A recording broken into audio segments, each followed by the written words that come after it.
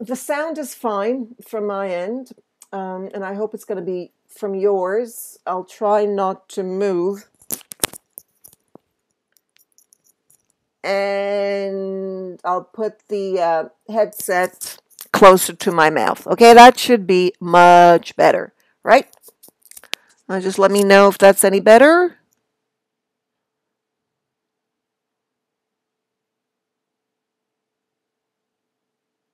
Yeah, okay, I've got the uh, mic in my mouth practically. Okay, so um, let's continue. So, really important to think of the purpose. Now, online tests, like any activity, because an online test is, in fact, on activity. It's just a test, but it's something that the students should be engaged in.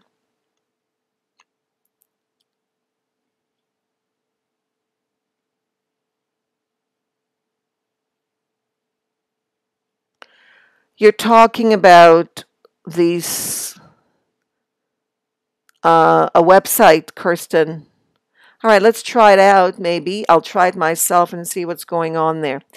And it has to be real to life because what's the point of testing uh, in a way or on a topic that will never fit real life?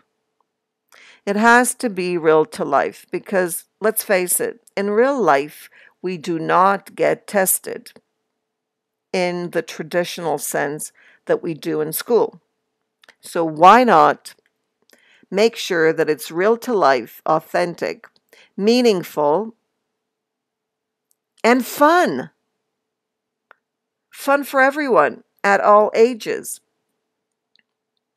Okay, and Kirsten, you're talking about kinds of tests. We'll talk about the different kinds. And here we are. Someone mentioned, uh, Hassan, I believe you mentioned formative assessment. Now, the question is are we going to call it evaluation or assessment? What word do you prefer, E or A?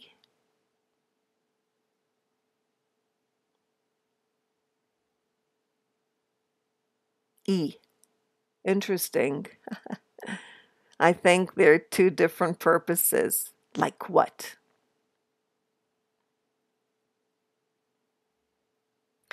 Okay, it depends. Right. Could you type your question, Ellie? I did not hear it.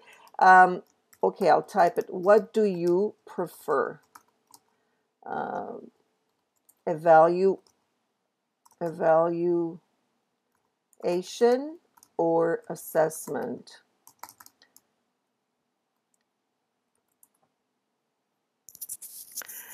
Yeah. If you think there's a difference, could you add it in the chat box?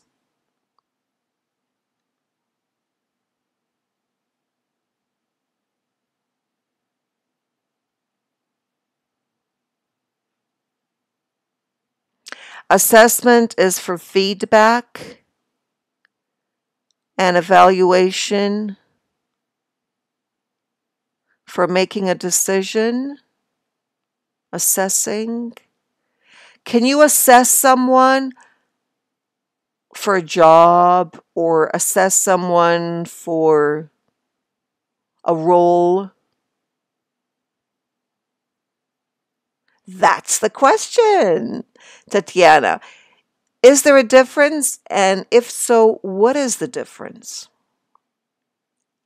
Okay, so we assess, we evaluate to get to the next level, and we don't assess to get them to the next level for job. So is that assessment or is that evaluation? I want to evaluate your work. I want to assess your work. Job assessment, but not an evaluation report about a new position. So you see what you're saying, Judy? You're saying exactly what Hassan said about assessment, but you're saying it about evaluation. Evaluate to minimum, assess to maximum, Well, most people use them interchangeably. They might say assess and they might say evaluate. It depends on you. More like a judgment. I thought evaluation, eval- give someone value, is more like a grade. Okay, so um, I don't think there's a clear cut difference between the two. Uh, people use them interchangeably. That too, Nevis, exactly. It could be a, a cultural, it could be, you know, um, a lot of things. Okay, but what is clear is whether you use evaluation or assessment, formative only has one meaning when it comes to assessing or evaluating. So, what is formative? Notice the word form. Okay, maybe that's the key form. We want to form what? An opinion. Right. We want to form an opinion of someone. How do we form an opinion of someone? What do we do?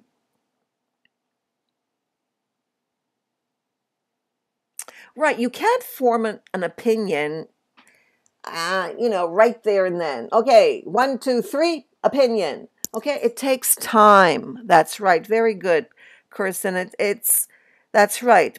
It takes time. And hello, Rosemary. Good to see you. Yes, Abhilash, that's right. Evaluation is, could be broader. That's how I see it. But again, it's you know, it's how you view it. Formative is something that you form an opinion over time. The question is, how do you form an opinion of someone, whether it's a student, a worker? Formative assessment. It's usually called formative assessment and not formative evaluation. Okay, it goes with assessment, exactly. Range of formal and informal assessment, exactly. It's called assessment. But what is a formative assessment? Is it formal or informal? Now you got us, camel. it's every seven weeks. It's over time. Would you say it's formal or informal? I think that's just going to confuse it. It's not standardized. It's informal, exactly, which is confusing, Kurt uh, Nevis, which is why I say form an opinion. If you can remember, because I think that Hassan got mixed up, if you can remember form an opinion, you'll realize that formative assessment is simply finding out what is going on. It has nothing to do with standardized tests. Okay, standardized tests is called summative assessment. When you take all the grades, okay, 100, 90, 60, 70, 50, 70, whatever, and then you come up with an average. You sum up all the numbers, and the numbers are very, very standardized. You base your tests on a standard. Exactly. So sum is a sum of all these numbers that don't have, well, they may have meaning, but it's definitely formal. That's right. Thank you, Tom. It's definitely opinion informal. Excellent. It's definitely formal. Okay? Uh, because what you're getting is uh, across the school, across uh, a state, a country, a nation. Okay, everybody takes the same test. And do you have summative tests in your countries?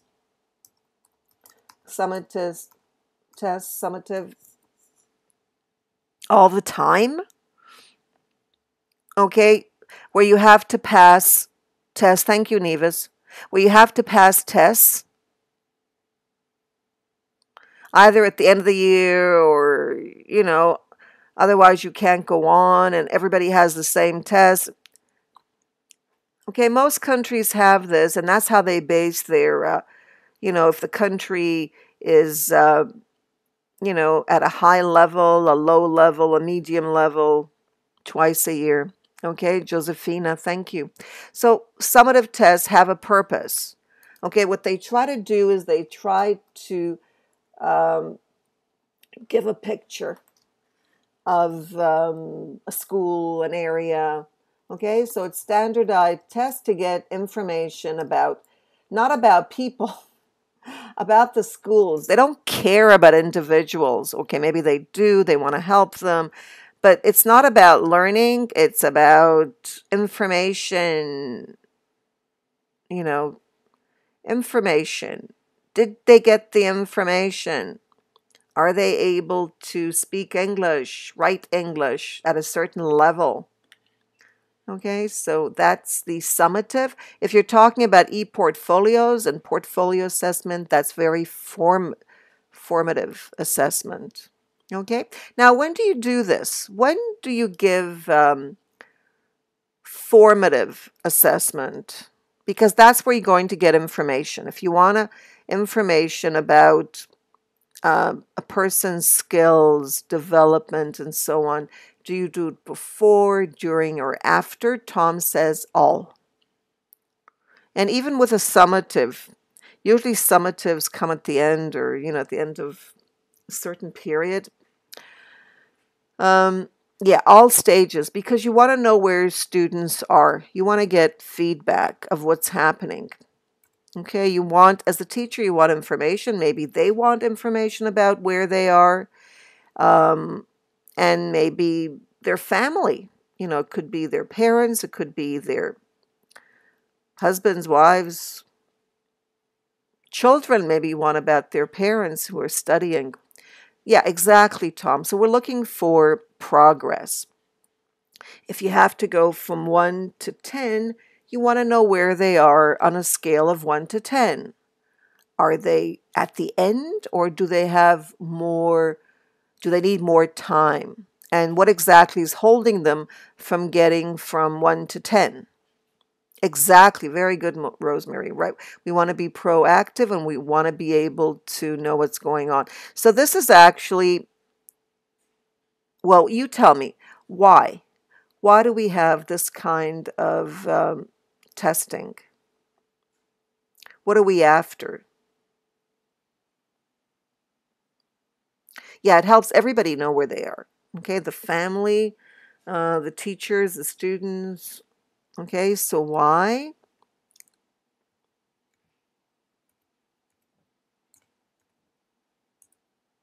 What is the purpose of having tests before, during, and after?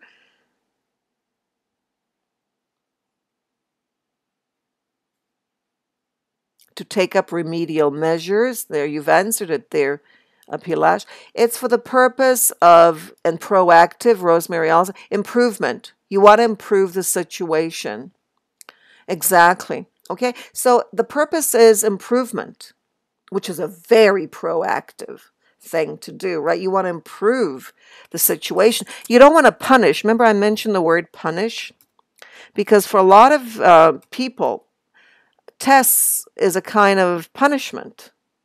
You know, it's, um, for example, um, if I, I have students um, for an MA program, transpersonal at, the at Atlantic University, and they're supposed to know APA style, but they don't know APA style. And I don't teach them APA style, but they're supposed to know APA style. So if they're responding to a question, um, and they don't go by the criteria or the rubric, which is to write APA, you know, to put citations correctly and the references correctly. If they don't do it, and I never really teach them how to do it because I'm not supposed to, um, they get penalized, they get punished, and they can't get a hundred. They can't get a hundred unless they uh, comply by APA. So isn't that isn't that bad? You know, it's going about it the wrong way. But what I do, because I think this is wrong, what I do is they make their mistakes and then I point their mistakes and then I tell them, okay, resubmit. Now, resubmit. How many of you like it when your students resubmit?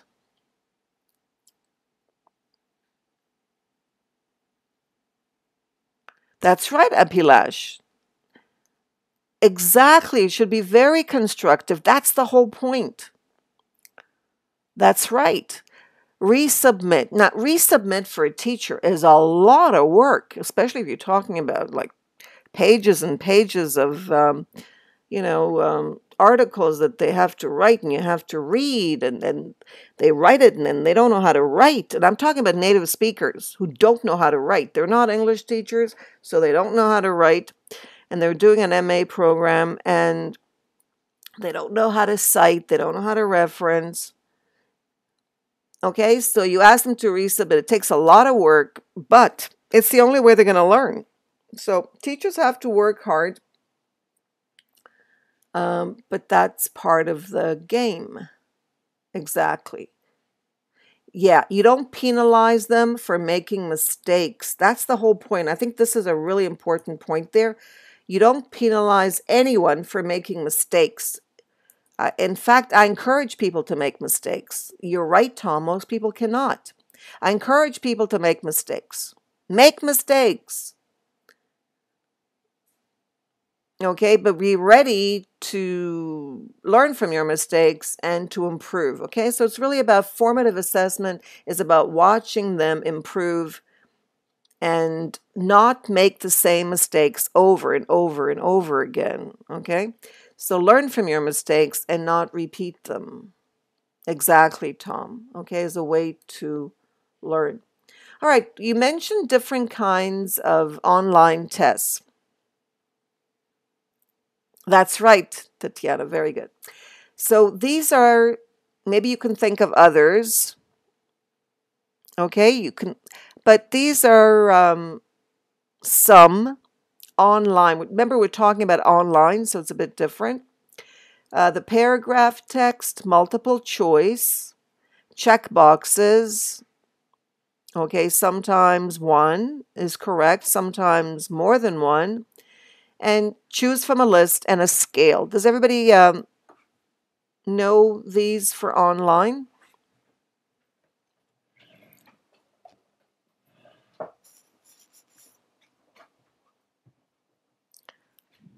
Everyone familiar with them? Yeah, you could add gap filling.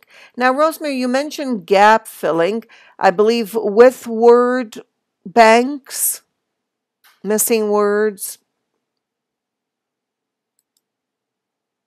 Yeah, paragraph uh, text means, yeah, it's only text, no audio, no video. Very good, Abhilash. Online, we can also have drag and drop. In other words, we can have images, we can add audio, video files, and so on.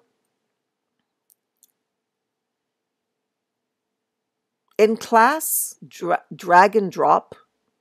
Judy, I, I must have missed what you said before. In class, you mean to print things out? Yeah, you can print all of these out. Very good, Judy. That's a very good point. You can print out everything and do it face to face. But what is the value in online tests as opposed to on paper?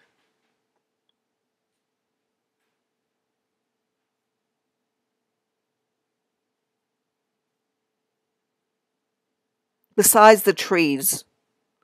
That's right. Not just automatic scoring, but it's easier to check. And of course, Judy, you mentioned it, save paper. Right. And they can do it multiple times. That's right, Josephina. That's a good point. They can do it over and over again until they get it right. Some online tests are interactive. Very good. That's right, Nevis and audit. But not just interactive, they can also add um, multimedia and they can record their voices. They can do it in the classroom with their um, smartphones too, but it's but it's still going to go online because you're not going to collect CDs, right? Okay, so technology is allowing us to really do amazing things online with testing. Okay, now on WizIQ, you have any of you created um, an online test on WizIQ. I want to point to some of the value. First, we'll go through some of the uh, process, and then we'll talk about some of the values. Not yet. Okay, not most of you have not. Okay, so you have a chance to do it this week. Just go in there and um, try one. Okay, hi Brian, good to see you.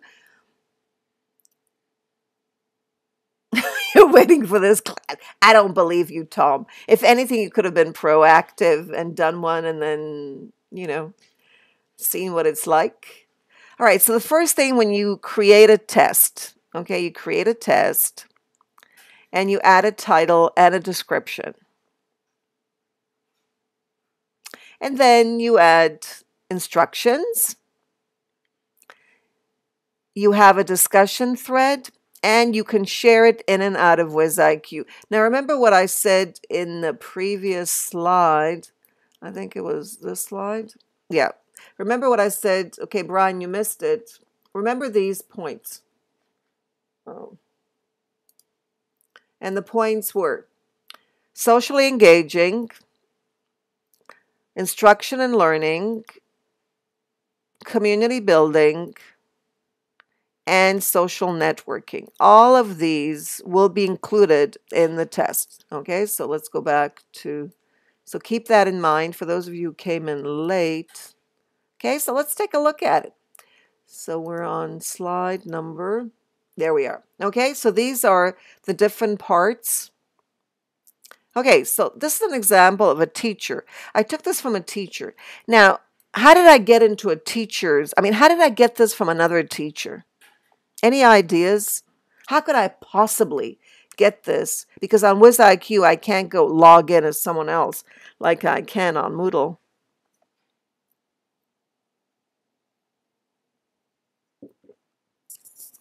That's right, Judy. Exactly. That that's right. Judy's right. No, nobody sent me this assignment. No. This is a teacher every assignment can be shared. Remember, everything on WizIQ can be shared because there's a link and you can share. Okay, so um, I saw this. It was a public. It's a public test that um, this teacher had created. So this is you can have public tests. You can make your tests public. Okay, so this is really important. No, it's not an assignment, Tom. Okay, this is a test on WizIQ. It's a public test. Okay, it's a test for um, learners of English, for uh, TO, for TOEFL, for TOEFL, for TOEIC, for IELTS. Are you ready? Are you familiar with these tests? What kind of tests would you are these? TOEFL, TOEIC. What kind of tests are they? Are they summative, formative, anything informal, formal?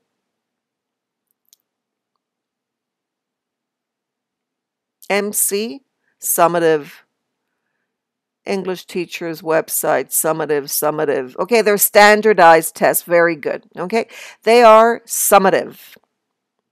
Okay, they sum up all kinds of things. Okay, uh, this uh, particular vocabulary test has 10 questions, one section. You can get 10, okay, so one per question. One point per question.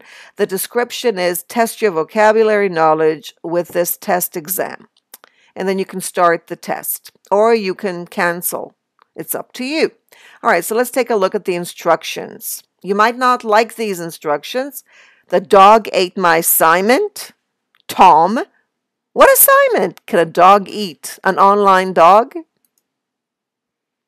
Well, there are online dogs, right?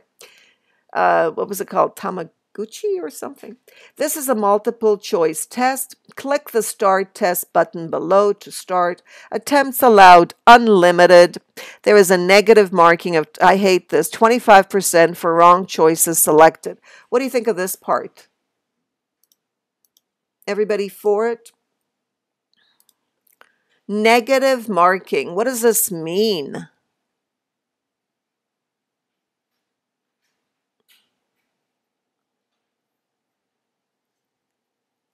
What does it mean? Negative marking of 25%?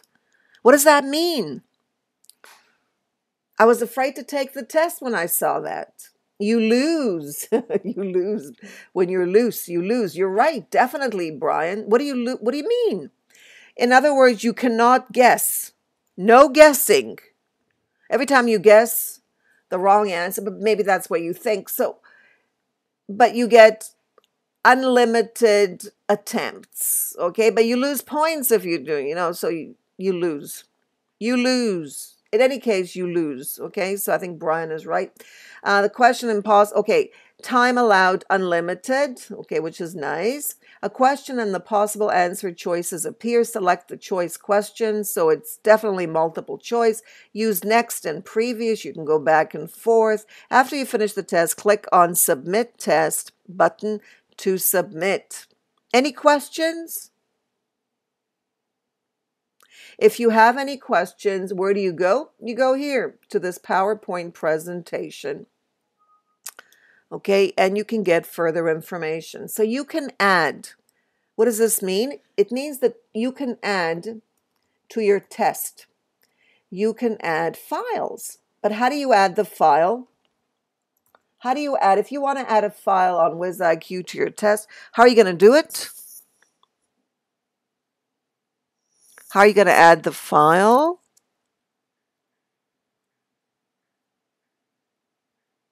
Link, Tom, exactly. Okay, so linking, that's how you're going to do it.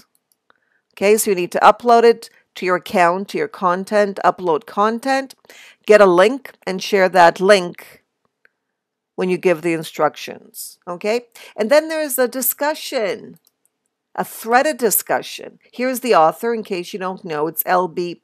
Hattersley, okay, who's on WizIQ, and me. Who's me? It's the student. Okay, the student is me, and I can add a question, and I can also respond to and add my comment to the author. So this is social networking? Is it socially engaging or is it community building or what is this? Okay, let's go back. What is this? Remember the uh, the five? I think it's here. What is this? Socially engaging, instruction and learning, or a combination, community building, or social networking. Exactly, Tom. It's exactly the same thing. And that's what it's a combination. And that's what I was trying to say that even for tests, WizIQ has this um, this feature. Okay, let's get back to okay this feature of the threaded discussions, which is really good.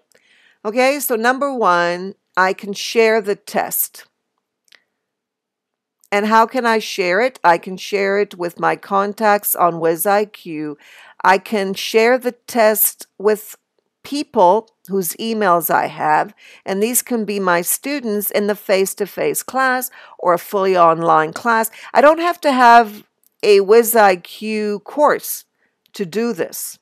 I can create a test and share the test with my students wherever they happen to be in any even on Moodle if I wish, but I wouldn't. Okay? Or on maybe Facebook, wherever I have my class. If I have a group on Facebook and I want to have tests, I can do them on WizIQ and then invite them by entering their emails. Okay? Uh, and then number three, the invitation to take the test, and then I can add a message to. So this is the same thing that you would have when you're writing a message to someone, when you're sharing live classes. Same thing. You can share content in the same way. Share content, share a live class, and share a test. That's how you do all three. No, Nevis, it doesn't have to be. So it's really a good way of doing it. So you can start a test like that and then share it. And then this is what it looks like if you share it in your WizIQ contacts. I think I have about 1,400 contacts. And then that's how you click on all. Okay, notice the all button. It's right there. You click on all,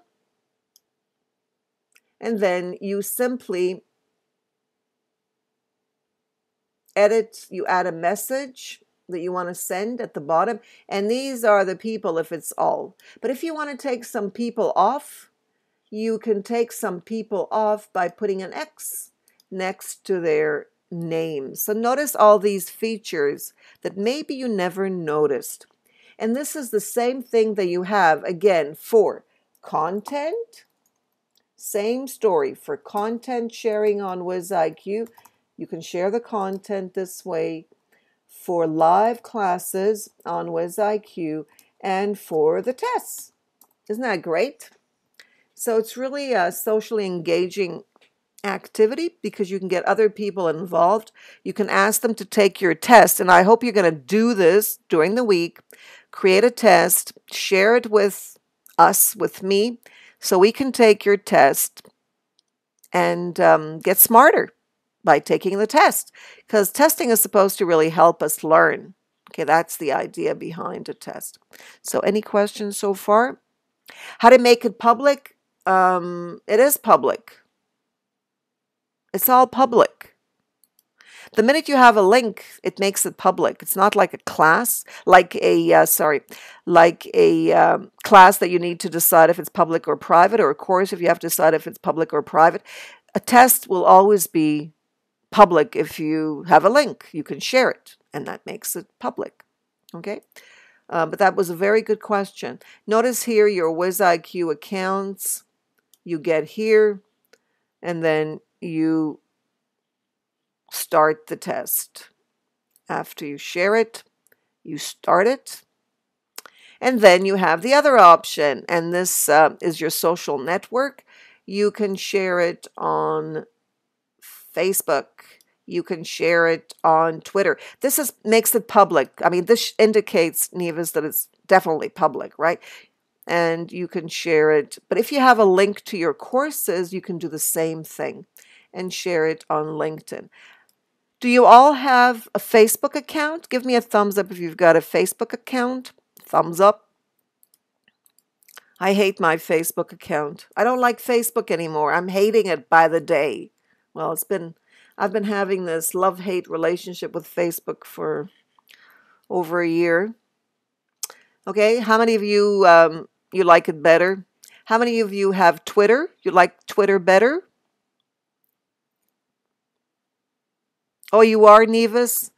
I wonder what's happening to us. Yeah, it just doesn't, yeah, I just don't get it anymore. And I've been there from it since the beginning. Twitter is a lot more appealing for educators, by the way. If you want to connect with educators, it's a lot more appealing to go with um, Twitter. And then G Plus. How many of you like G Plus? Google Plus? Seems cleaner. I don't know. Facebook just seems to be so dirty these days. With I don't know. G Plus, yes. And then LinkedIn. I think LinkedIn is really um, much more I don't know, sophist I don't know, maybe because it costs a lot of money to go pro. Linked LinkedIn. Everybody have LinkedIn? LinkedIn? Yes. Okay, you can connect with me. Uh, LinkedIn, if you haven't. Uh, anybody can connect with me. I will not complain if you connect. I don't mind. Okay, so there's LinkedIn. So these are social networks. Now, notice here what this means here 29 followers. Follow this member. Again, when you share your test, it will tell the person who is getting the test how many followers you have. This is a public test. And you can also send a message to the person, and I think this is really nice, send a message to the person who created the test. Okay, so it's really engaging in social networking. Or oh, you are? Okay, so check. Let's connect. I like LinkedIn. All right, notice the discussion. You, if you have a question, you can, and this is social engagement with the questions. And that's it. There's my flowers that I missed out in spring, so it's summer flowers. Any questions that you may have, questions, comments, and so on. I see some people joined that I didn't notice before. Um, any questions? What I'd like to do is, if you could write them in the chat, and what I'd like to do is I'd like to invite you to the course if I can find the link to the course. Anybody have the link to uh, the course? I think I had it on my mouse, but I don't. I have something else there. Uh, to learn to blend and flip with technology. Anybody have it handy?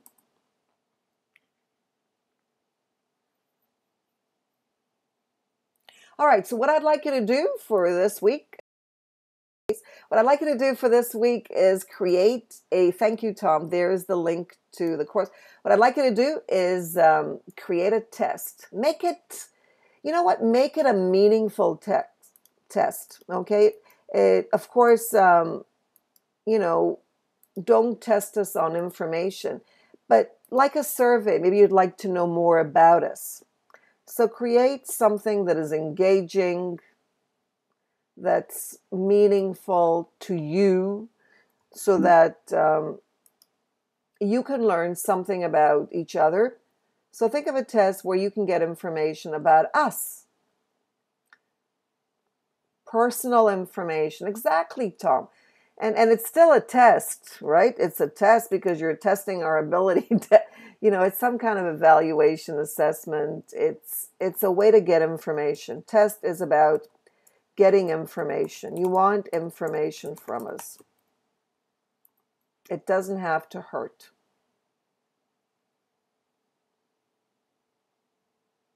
That's very good brian. You need to work it out. Oh i'm glad you finally have your teacher account uh, feel free to contact support. They're very good. Don't be afraid of them. Uh, they do not um, do anything that will harm your computer or anything like that. Even if they need to go in to help things out, help you with your audio, um, they have what's called Team, I think it's Team Viewer that they use. It'll not harm your computer, so don't be afraid. Um, but if you have a question, if you your audio is not working or anything else, if you're having problems, feel free to contact support. They are trustworthy. They know what they're doing. Why not free? It should be free, ta- uh, Brian. It has to be free for teachers. Okay, WizIQ is free for teachers. If you're an organization, that's another story. If you'd like to get your organization uh, using WizIQ, that costs money, but WizIQ is free for teachers. Remember that. Okay, you get a free premium account. Uh, I think it's worth something like, uh, I don't know, $600 or $300 or I don't know how much. So feel free if you um, are having problems, contact me. Uh, it's free for teachers. Yeah, and you need to renew it every year but all you have to do is say, I'm a teacher. And if you don't have a teacher, if you don't work in a school that has an email, just say that you teach. Doesn't matter. You know, you'll get it. Okay? So we'll see you. Have a wonderful rest of the week. And uh, we'll see you next week for another session on understanding WizIQ and testing. So I'm looking forward to seeing what you come up with and taking your test and getting a hundred. Thank you. Bye, everybody.